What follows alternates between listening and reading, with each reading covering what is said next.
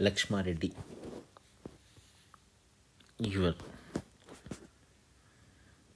chemistry sir, Himanshu Pandey Solutions.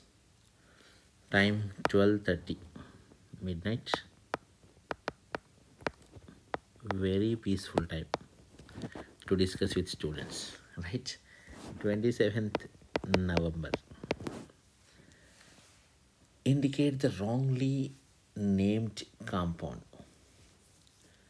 1, 2, 3, 4 methyl, 1 pentanol. No need of 1 pentanol, pentanol only. Enough. 1, 2, 3, 4 methyl, 2 pentanoic acid. Correct. 1, 2 methyl, 1 pentanoic acid. Correct.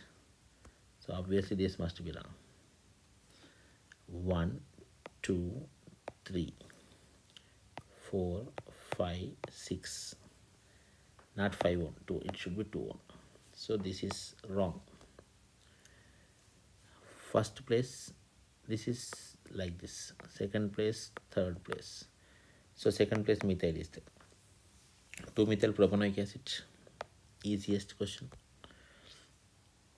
Start from here 1, 2, 3, 4, 5, 6. Don't worry of the long chain. Go with maximum number of carbons with double bonds and all. Fourth place you have butyl.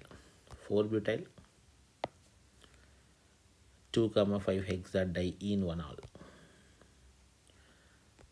Which of the following IUPAC name is correct he is asking.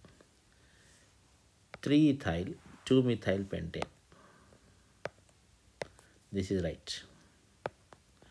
3 methyl 2 ethyl. Second place ethyl is generally not possible. Okay, that will go into the long chain. Correct? 2 ethyl not possible. 2 methyl 3 ethyl pentane not correct because E comes first. Simple logic. Now IUPAC name 1, 2, 3. 1 to epoxy propane. 1 to epoxy propane. The kind of valency that exists in CaH2 and C2H2. Ca plus 2, H2 minus. This is ionic electrovalency.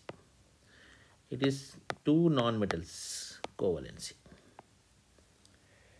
The IUPAC name of something something mentioned here 1, 2, 3, 4. It is attached to fifth carbon.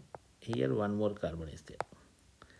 So 4 methyl 2 pentyne 4 methyl 2 pentyne so signing off lakshma reddy sir please do share thank you guys